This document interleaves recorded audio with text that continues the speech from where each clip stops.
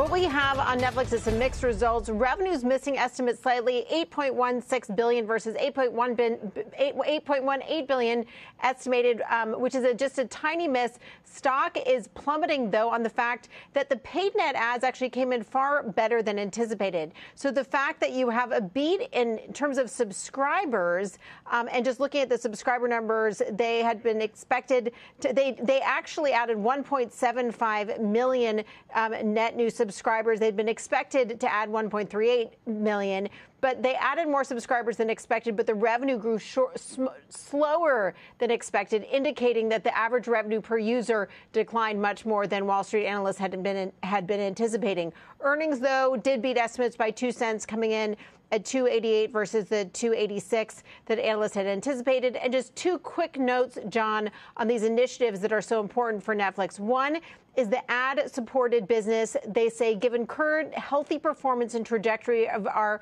per member advertising economics, particularly in the U.S., they say we are upgrading our ads experience with more streams and improved video quality to attract a broader range of consumers. They also are announcing that they are launching their crackdown on their on password sharing, what they call their paid sharing initiative. They're launching a broad rollout, including in the U.S., in the second quarter. So, John, we see the stock is now down about 8%. I'm going to continue to dig into these numbers, and we'll be back to you with more. Julia, thanks.